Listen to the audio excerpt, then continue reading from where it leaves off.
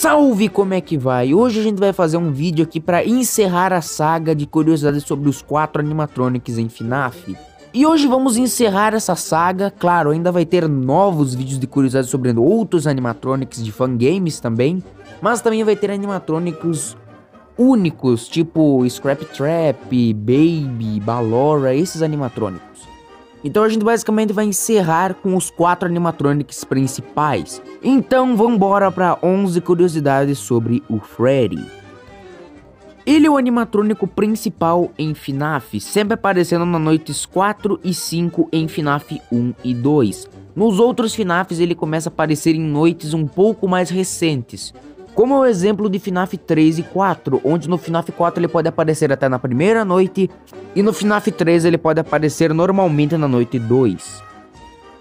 No FNAF 1, Freddy tem uma mecânica parecida com Foxy, mas que não é explicada pelo Phone Guy, onde você tem que ficar acompanhando ele nas câmeras e impedir que ele chegue no seu escritório, caso contrário, a morte é certa.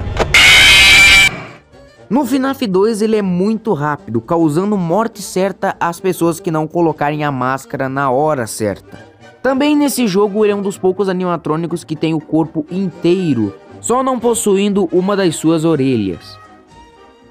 Em FNAF 3 ele é um fantasma bem inesperado para as pessoas que veem ele pela primeira vez, já que ele vem caminhando lentamente pelo escritório, quando vo se você olhar para ele, ele vai te atacar, só não vai te matar porque ele é um fantasma só que ele vai causar bug no sistema. Nesse jogo ele tem uma aparência mais esverdeada, parecendo que foi deixado para apodrecer por muitos anos. Ele não tem a sua perna esquerda, mas o resto do seu corpo é completo. Ele é uma versão de Withered Freddy do FNAF 2. Nightmare Freddy é a versão mais assustadora de Freddy em toda a franquia. Ele é um animatrônico que vem acompanhado de seus mini Freddies, que ficam agarrados em seu corpo durante seu jumpscare e também dentro do jogo. Caso você demorar muito para mirar a lanterna para eles, o Nightmare Freddy vai ser ativado e vai te matar. Em Sister Location, o Freddy, ou Funtime Freddy, não é o principal, mas ele possui uma marionete chamada Bonbon, que acompanha ele o jogo inteiro que na minha opinião eu acho muito engraçado as frases que Bonbon e Freddy têm dentro do jogo, onde eles ficam discutindo sobre se tem um guarda noturno lá dentro ou não. Voltando em FNAF 2, Toy Freddy pode ter duas versões de seus olhos, uma no seu jumpscare e a outra é quando ele entra no nosso escritório, onde ele aparenta estar com os olhos fechados, parecendo uma aranha. Quer dizer, só os olhos, porque grande daquele jeito ele não parece muito uma aranha.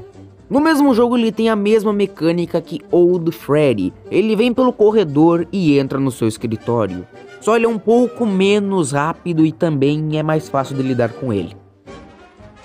Mountain Freddy é uma versão de Ennard onde não possuímos a Baby dentro do animatrônico, por isso que ele tem mais aparência do Freddy. Eu acho que ele deve ter colocado ele com a aparência do Freddy para não deixar tão na cara que são os Phantasms lá dentro. Sendo que ele tem a mesma voz que o Phantom Freddy, mas... né. Glamrock Freddy é o maior companheiro que temos em FNAF Security Breach, sendo nosso melhor amigo no jogo inteiro, nos acompanhando em todas as partes do game. Sendo o único animatrônico que não é afetado por Glitch Trap no jogo inteiro. Uma teoria no FNAF 1 é do porquê que Freddy tem o seu jingle tocado quando acaba a energia.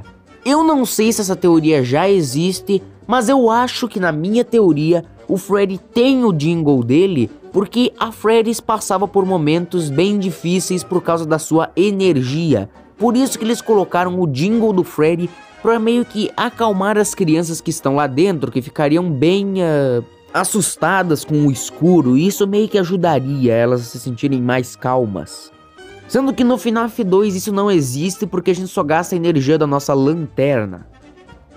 Continuando a falar do áudio do Freddy, em FNAF 1 o áudio que ele toca quando acaba a energia não é do próprio jogo, mas sim é um áudio de 1901. É muito velho. É possível que o Scott tenha tirado do YouTube porque essas gravações são muito antigas. Se bem que não são bem gravações, são caixas de música, daquelas lá que você toca à mão mesmo.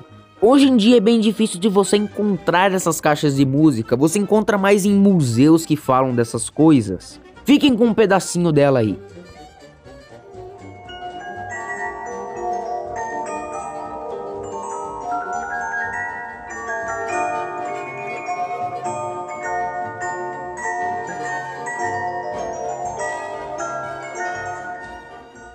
Muito obrigado a você que assistiu até aqui. Até a próxima e tchau!